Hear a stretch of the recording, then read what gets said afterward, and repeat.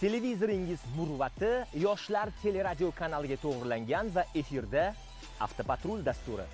Assalomu alaykum. O'zbekiston milliy teleradio kompaniyasi yoshlar teleradio kanali namoyish etadi. Haftaning payshanba kunlari avtopatrul aynan shu daqiqalarda ekraningizda namoyon bo'ladi. O'tgan hafta davomida avtopatrul ijodkorlari siz uchun ajoyib lavhalarni tayyorlashgan. Demak bahor faslining oxirgi haftasida yo'l transport hodisalarini kamaytirish qoidabuzarliklar sonini hamin qadar kamaytirish maqsadida ijodkorlarimiz astoydil ter to'kishdi. Darvoqe bugungi dasturimizdan toshkent shahridan tayyorlangan lavha ham alohida o'rin egallagan. Toshkent shahar ichki ishlar bosh boshqarmasi yo'l harakati xavfsizligi boshqarmasi xodimlari matbuot xizmati hamkorlikda biz bilan ajoyib lavhalarni tayyorlashgan va u keyindagi daqiqalar davomida namoyish etiladi. Yoshlardan uzoqlashmang. Biz bilan qoling.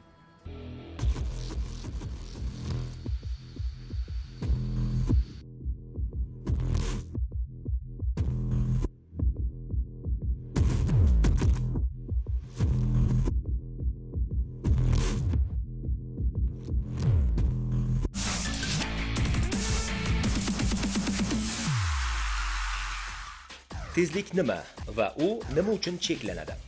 Javobini qonun va qoidalarni hurmat qiluvchi haydovchi biladi. Ammo tezlikni oshirish orqali kelib chiqadigan oqibatlarni bilmaydiganlar tezlik talablariga amal qilishmaydi. Radarlarning nigohiga tushib qolmaslik uchun turli noqonuniy usullarni qo'llashadi. Bu ish bir marta omadli yakunlanishi mumkin. Ikkinchi marta ham hech qanday to'sqinliksiz amalga oshishi ham mumkin. Lekin ko'za baribir kuni kelganida sinadi. Buni mana bu damas haydovchisi endi tushunib yetgan bo'lsa ajab emas. Begobod shahar Buyuk Ipak yo'li ko'chasida harakatlanib kelayotgan 10 s 189 na bo'lgan Damas avtomashinasi to'xtatib tekshirilganda davlat raqam belgisini o'zboshimchalik o'z boshimchalik bilan e, narsa qo'yib olganligi aniqlandi. Hamda haydovchiga nisbatan e, ma'muriy javobgarlik to'g'risidagi 125 moddasida ko'rsatilgan huquqbuzarlik bo'yicha ma'muriy bayonnoma rasmiylashtirildi. Ko'rib turganingizdek bu haydovchi davlat raqam belgisini berkitish orqali qoidalar talabini chetlab o'tmoqchi bo'libdi. Inspektorlarning o'tkir nigohiga tushgan navbatdagi haydovchi radarga tushmaslik uchun qoidalarga amal qilish o'rniga davlat raqam belgilarini butkul yechib olib harakatlanishni afzal bilibdi. Bekobod shahar buyuk ipak yo'li ko'chasida harakatlanib kelayotgan nexia uch avtomashinasi to'xtatib tekshirilganda davlat raqam belgisini yechib olib harakatlanganligi aniqlandi tekshirish davomida avtomashinani yukxonasidan 10 y 099 ta bo'lgan davlat raqam belgisi o'zboshimchalik bilan yechib olganligi aniqlandi. Nega davlat raqam belgisini yechib harakatlanyapsiz? Nima sabab bo'ldi? Ustaxonadan olib chiqdim ustaxonadan olib chiqdingiz. Ustaxonadan olib chiqqaningizdan o'sha yerda o'zida davlat raqam belgisini qatirib haydasangiz bo'ladiku mashinani yopig'ida eshik yoniga qo'yib turib chiqib ketgan ekanda o'zimda anaqa ham yo'q edida ushbu qoidabuzarligingiz bo'yicha e'tirozingiz bormi bizga toshkent viloyati ichki ishlar bosh boshqarmasi yo'l harakati xavfsizligi boshqarmasi xizmat xodimlarining bekobod shahrida o'tkazgan reydlari davomida bu kabi bir qator qoidabuzarlar aniqlandi. Mercedes benz rusumli transport vositasini boshqarib yurgan haydovchi ham reyd o'tkazilayotganligini bilmagan yoki qoidalar talabini hurmat qilmaydigan ko'rinadi. Aks holda bu kabi qoidabuzarlik unga qimmatga tushishini o'ylab ko'rgan bo'lardi. Bekobod shahar buyuk ipak yo'li ko'chasida harakatlanib kelayotgan mercedes benz rusumli avtomashina to'xtatib tekshirilganda davlat raqam belgisi yo'qligi hamda haydovchi hech qanday hujjatlarsiz boshqarib kelayotganligi aniqlandi. Haydovchiga nisbatan ma'muriy bayonnoma rasmiylashtirildi. Hech qanday e'tirozingiz yo'qmi? Haydovchi qilgan qoidabuzarligingiz bo'yicha. Misoldan hozir topshirdim hamma hujjatlarni. Yangi nomer olishim kerak. Soat beshda keladimi davlat raqam belgisini qo'ymasdan hamda hujjatlaringiz to'liq bo'lmasdan harakatlanish haqqingiz yo'q hurmatli haydovchi haydovchiga nisbatan ma'muriy bayonnoma rasmiylashtiryapmiz. Jarimasini belgilangan tartibda ma'muriy amaliyot bo'limiga to'lab avtomashinangizni olib chiqib ketishingiz mumkin. Hurmatli haydovchilar qoidalar aynan sizlarning xavfsizligingizni ta'minlash uchun xizmat qiladi. Buni unutmang va o'zingiz hamda o'zgalarning hayotini xavf ostiga qo'ymang. Tezlikni oshirish va ayniqsa bu kabi noqonuniy yo'llar bilan amalga oshirish hech vaqt yaxshilikka olib kelmaydi. Ana shuni unutmang. Manmanlik hech vaqt hech kimga obro' keltirgan emas uning yakuni hamisha afsus va nadomat hisoblanadi mana bu haydovchi ham manmanlik qilib transport vositasini tez haydashni niyat qildi Bu niyat uni qoidabuzarlik sari yetakladi. U avtomashinasining davlat raqam belgisini qo'lbola usulda o'zgartirdi va unda yurdi. joriy yilning 18 aprel kuni ertalab yo'lga chiqdim ohangaron yo'nalishi bo'yicha shu ozgina shoshayotganim sababli nomerimni qora izolentada bekitib j harfini o harfi qilib qo'ydim bu ishimdan pushaymonman tegishli choralar ko'rildi boshqa aytolmayman Toshkent viloyati ichki ishlar bosh boshqarmasi yo'l harakati xavfsizligi xizmat xodimlari bu kabi ucharlarga qarshi tezkor xizmat vakillari bilan hamkorlikda ayovsiz kurash olib borishmoqda. Ammo o'zi va o'zgalarning hayotini xavf ostiga qo'yuvchilar hamon uchrab turibdi. 2023 yil 19 aprel kuni bozorga ketayotganimda shoshayotganim hisobiga e, yo'lda radar borligi uchun nomer yashirib tezlikni oshirdim. Qilganishimizdan pushaymonmiz ikkinchi qaytardi Davlat raqam belgisini o'zboshimchalik bilan o'zgartirish javobgarlikka tortilish uchun asos bo'ladi. O'zbekiston Respublikasining Ma'muriy javobgarlik to'g'risidagi kodeksi 25-moddasining 6-qismida davlat raqam belgisi yasama yoki o'zga usullarda o'zgartirilgan transport vositalarini, xuddi shuningdek, davlat raqam belgisi ayni shu transport vositasiga tegishli bo'lmagan avtomashinani boshqarish bazaviy hisoblash miqdorining 10 baravar miqdorida jarima solishga sabab bo'lishi belgilab qo'yilgan. Navbatdagi sarguzasht ishqibozi ijtimoiy tarmoq foydalanuvchilarini lol qoldirishning antiqa usulini o'ylab topdi. U o'rtoqlari bilan birgalikda Damas avtomobilini material bilan o'rab chiqdi va ko'rinmas odam bo'lib transport vositasini boshqardi.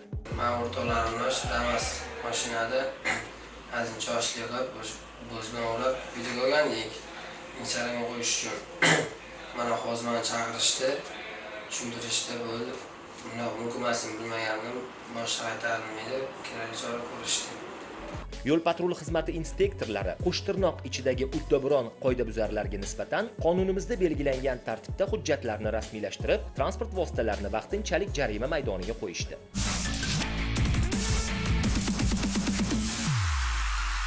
Diyorimizdagi maktablarda so'nggi qo'ng'iroq chalinib, o'quvchilar maktab ta'tiliga chiqishmoqda.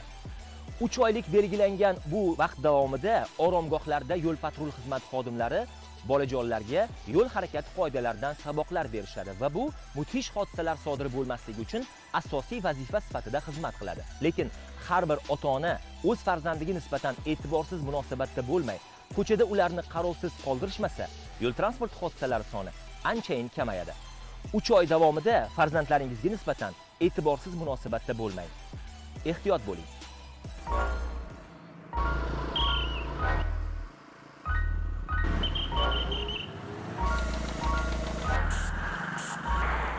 Kelajak avlodni kelgusida madaniyatli yo'l harakati ishtirokchilari sifatida tarbiyalashga yo'naltirilgan ishlar bolalar hayotini asrash harakatlanish xavfsizligi asoslarini o'rgatish bolalar bilan bog'liq yo'l transport hodisalarining oldini olishga xizmat qiladi. Bu boradagi ishlar samaradorligini oshirish shuningdek ilg'or rivojlangan davlatlar tajribalaridan kelib chiqib bolalar ishtirokidagi yo'l transport hodisalarining oldini olish. Serqatnov yo'llarda chorrahalar bolalar muassasalari atrofida bolalar qatnovi ustidan nazoratni kuchaytirish. Yo'l harakati ishtirokchilarining xavfsizliklarini ta'minlash maqsadida Navoiy viloyatida umumiy o'rta ta'lim maktablari va maktabgacha ta'lim tashkilotlari atrofidagi yo'llarda mavjud piyodalar o'tish joylariga sinov tariqasida chet el tajribasi asosida yangi namunadagi yo'l yotiq chiziqlari chizilmoqda. Dastavval Ichki ishlar vazirligi yo'l harakati xavfsizligi xizmati rahbariyati ko'rsatmasiga asosan joriy qilinayotgan ushbu amaliyotni targ'ib qilish maqsadida Navoiy viloyatida video selektor tarzida yig'ilish o'tkazildi. Ichki ishlar vazirligi yo'l harakati xavfsizligi xizmati mas'ul xodimlari rahbarligidagi tadbirda maktabgacha va maktab ta'limi vazirligi xodimlari, shuningdek, viloyatda mavjud barcha ta'lim muassasalari vakillari ishtirok etishdi. Unda O'zbekiston Respublikasi Vazirlar Mahkamasining 2022-yil 26-apreldagi ta'lim muassasalarida yo'l harakati qoidalari targ'ibotini kuchaytirish chora-tadbirlari to'g'risidagi qarori yuzasidan Navoiy viloyati hududida joriy yil boshidan hozirgi vaqtga qadar amalga oshirilgan ishlar sarhisob qilindi. Shu jumladan belgilangan vazifalar ijrosi yuzasidan tushunchalar berilib, amaliyotga kiritilayotgan yangiliklar batafsil tushuntirildi. Ta'lim tashkilotlari tarbiyalanuvchilari va maktab o'quvchilari yo'llarda piyodalar o'tish joylarida harakatlanish asoslarini amaliy ko'rgazmali tarzda o'rgatish ham yo'lga qo'yilmoqda. Hop. O'ng tomonga qarab olamiz bitta. harakatlanamiz ha Birinchi stop degan joyni egallaymiz. Keyin o'ng qo'limizni ko'tarib birinchi chapga, keyin esa o'ngga qarab o'tamiz.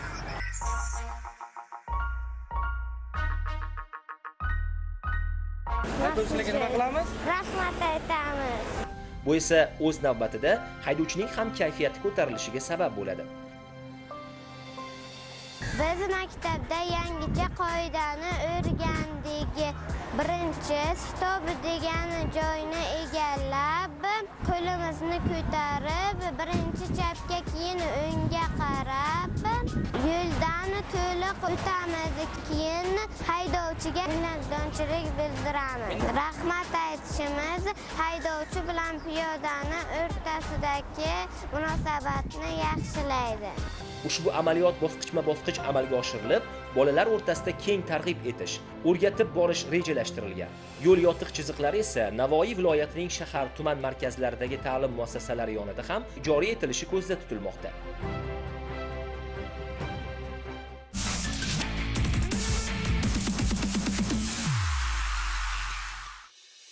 Samarqand shahri bo'yicha ichki ishlar organlari faoliyatini muvofiqlashtirish boshqarmasi yo'l harakati xavfsizligi bo'limi xodimlari tomonidan Samarqand shahridagi 51 sonli umumta'lim maktabida targ'ibot tadbiri o'tkazildi. Unda o'quvchilarning yo'llarda hushyor va sergak holda piyodalar o'tish joylaridan o'tayotgan vaqtlarida qo'l telefonlari va quloqchinlardan foydalanmasliklari, faqatgina belgilangan piyodalar o'tish joylaridan o'tishlari, boshlang'ich sinf o'quvchilariga esa maktabga kelib ketishlari uchun ota-onalar hamda o'qituvchilar mas'ul ekanligi aytib o'tildi. Shundan so'ng o'quvchilarga maktab maydonida bolalar uchun maxsus jihozlangan avtomaydonchada yo'l patrul xizmati xodimlari tomonidan yo'l harakati qoidalari bo'yicha ko'rgazmali yo'l belgilari va svetofor ishoralari birma-bir amaliy va nazariy tarzda tushuntirib berildi.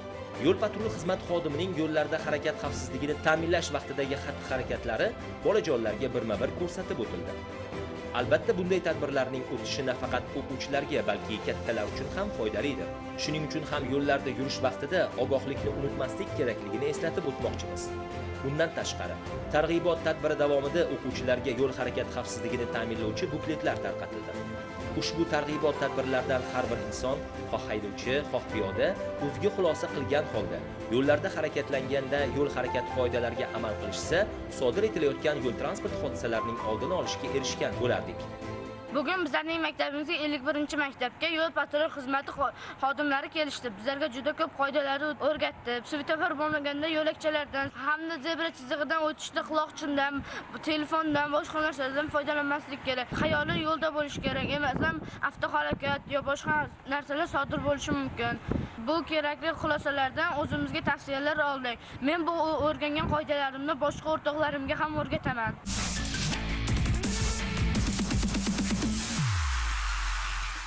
Avtopatrulni ancha yillardan beri tomosha qiladigan muxlislarimiz lavhalar tezkorligiga hayron qolib, voqea joyida qanday qilib zudlik bilan hozir bo'lasizlar? Sizlarni birov chaqiradimi deb alohida savol berishadi. Har bir viloyatda avtopatrulning maxsus ekipajlari mavjud bo'lib, viloyat ichki ishlar boshqarmasi, yo'l harakati xavfsizligi boshqarmasi navbatchilik qismiga yetib kelgan ma'lumotga ko'ra, o'sha ekipaj voqea joyida zudlik bilan hozir bo'ladi va sizlar uchun maxsus lavhalarni tayyorlashadi. Navbatdagi lavhalarimiz ham xuddi shu tarzda tayyorlangan.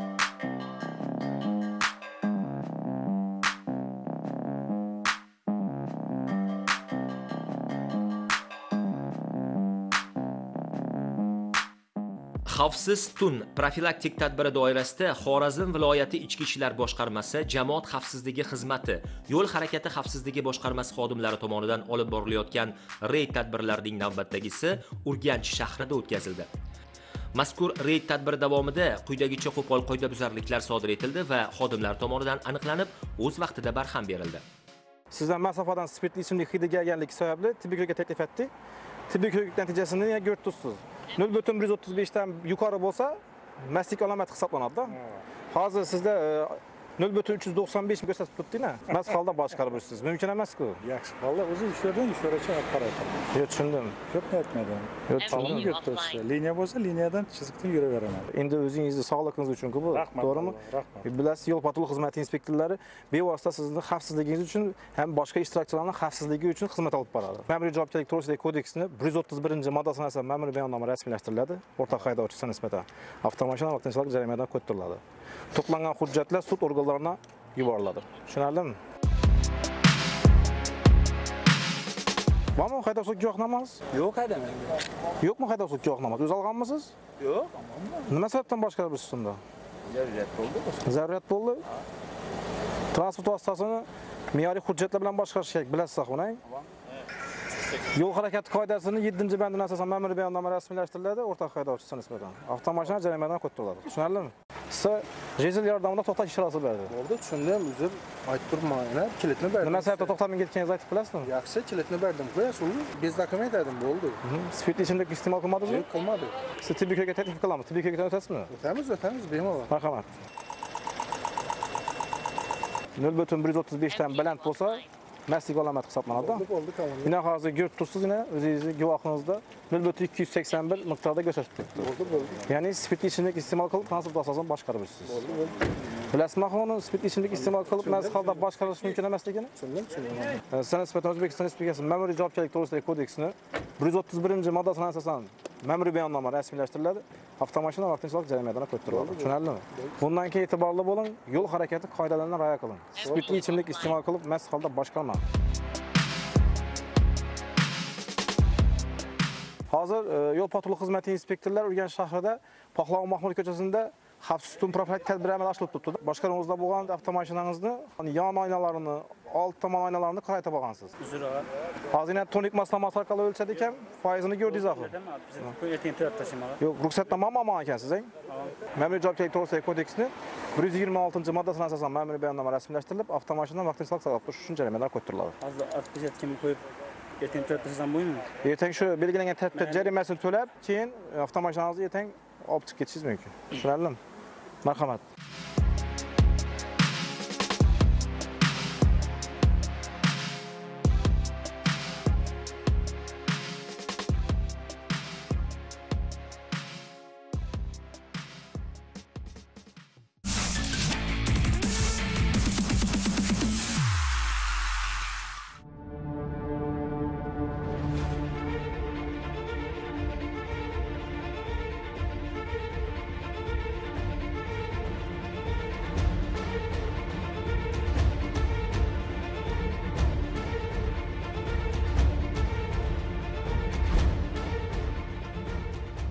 Axborot texnologiyalari inson hayotining ajralmas bo'lagiga aylanib bormoqda.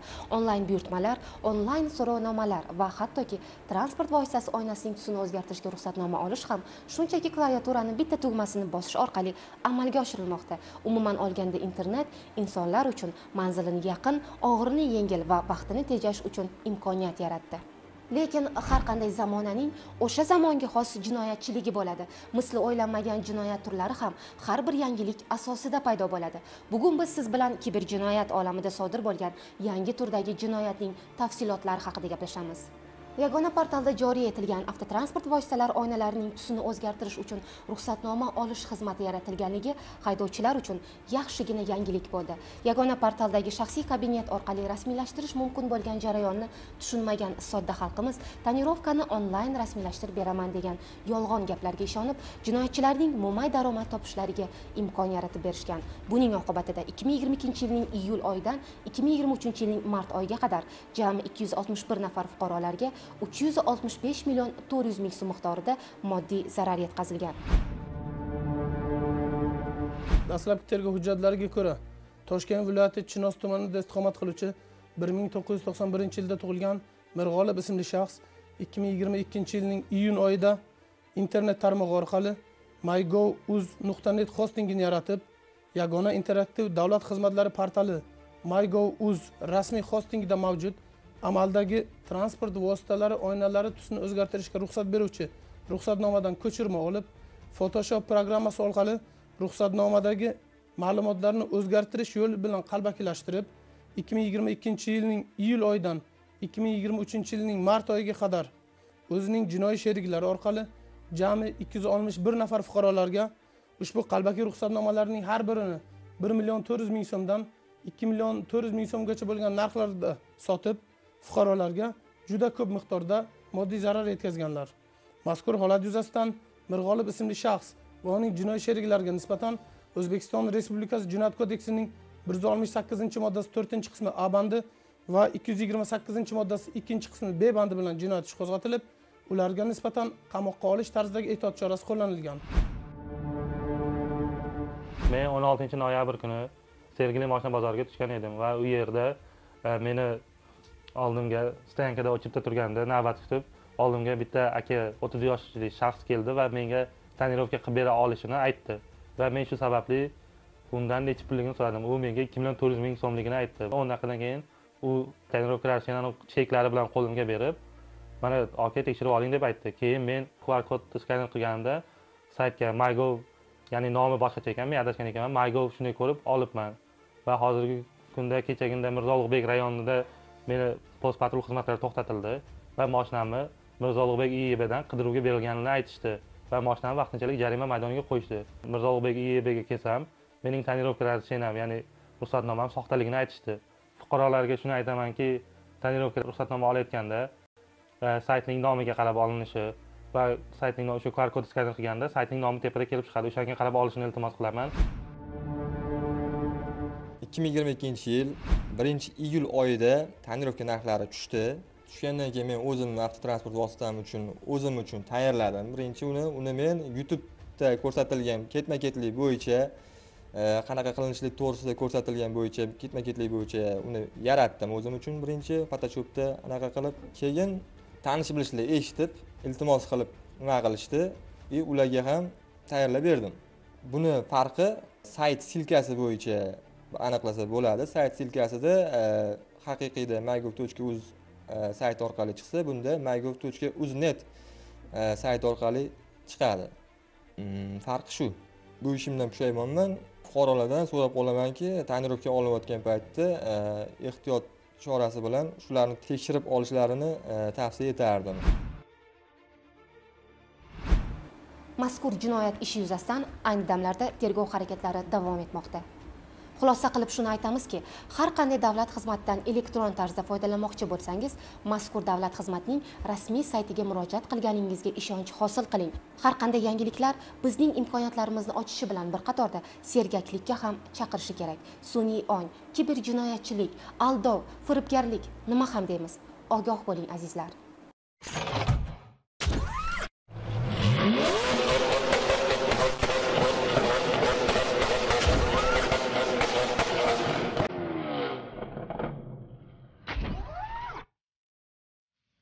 Lavhalarimiz ketma ketligini tomosha qilib o'tirib o'ziga xos xulosaga ega bo'lgan tomoshabinlarimiz albatta keyingi dasturlarimizni ham o'tkazib yubormasliklariga ishonchimiz komil. Chunki avtopatrulning har bir sonini bizning muxlislarimiz hech qachon o'tkazib yuborishmaydi.